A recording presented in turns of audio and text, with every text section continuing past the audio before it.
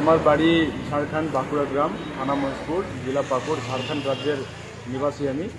আমি এখানে দু হাজার আঠেরো সালে আসছি গাড়ি নিয়ে ডাম্পার দশ টাকা চালাবার জন্য। তারপরে আমি এখানে অনেক দিন গাড়ি চালার পরে বেলেগুড়ির নজরুল ইসলাম বলল, দুদিন গাড়ি চালাবো। ওই লঙ্কাঝুরি কুয়ারিতে তাকে আমি দিলাম। সে চালাবোর নাম করে গিয়ে চালালো না, একদিন বসিয়ে রাখল। তারপরে আমি বললাম, গাড়িটা নিয়ে আসব। সে বলল, না থাক, তারপরের দিন চালাবো।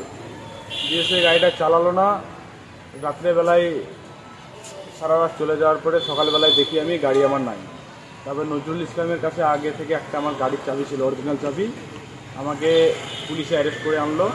তারপরে সারাদিন অ্যারেস্ট করার পর রাত্রেবেলায় ছাড়লো। তারপরে নজরুলকে চাবির জন্য বলি, তো সে বলে যে চাবিটা আমার কাছে নাই।